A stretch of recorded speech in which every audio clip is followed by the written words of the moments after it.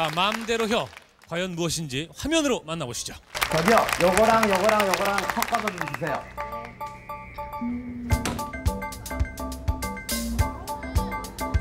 아씨, 이런 거 보셨어요? 재밌죠? 그런 거 같이 그래요. 별것도 아닌데. 한번 봐요. 뭐 별거도 아니에요, 재밌는데.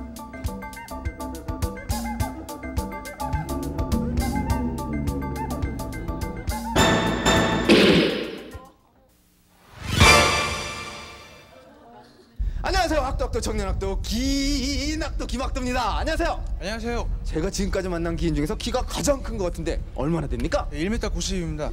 1m 90 저랑 한 10cm 정도 차이 나는 것 같죠? 근데 혀가 이렇게 마음대로 자유자재로 움직입니까 정말로? 예, 그렇습니다. 아, 일단 그러면 기본 동작부터 보여주시죠 예, 보여드리겠습니다. 예?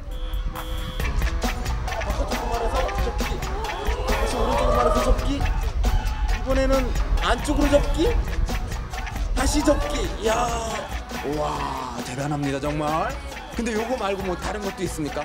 예, 바람개비라고 있습니다. 바람개비요 오 정말 돌아요 바람이 바람이 나옵니까?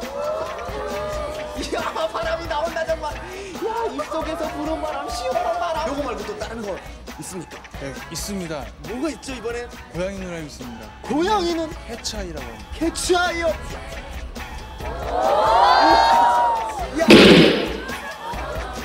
말기.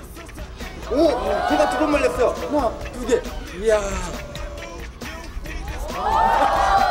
하나, 둘, 셋. 세, 세 조각이 났어요 혀가.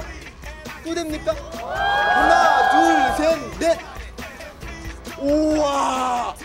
혀 불가사리. 네, 그러면 오늘의 비장의 카드를 보여드리겠습니다.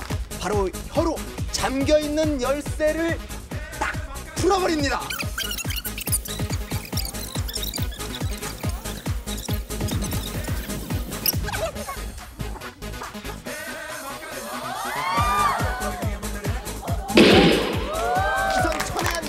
태어나서 처음 봤습니다. 음, 여러분 이 정동훈 씨 정말 기인인 것 같죠? 야, 이 혀에게 정말 찬사를 보내고 싶습니다. 자 이상 오늘의 기인 정동훈 씨와 함께한 기인 열전의 기인 학도 김학도였습니다.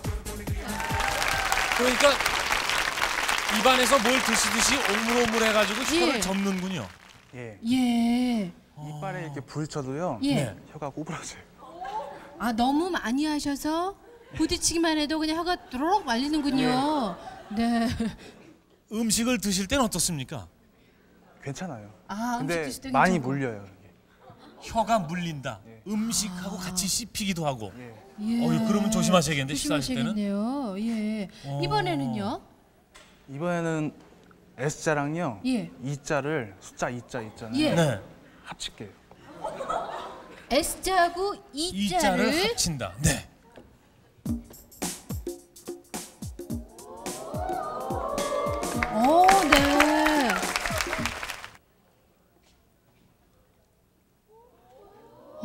네. S자, 저쪽은 E자.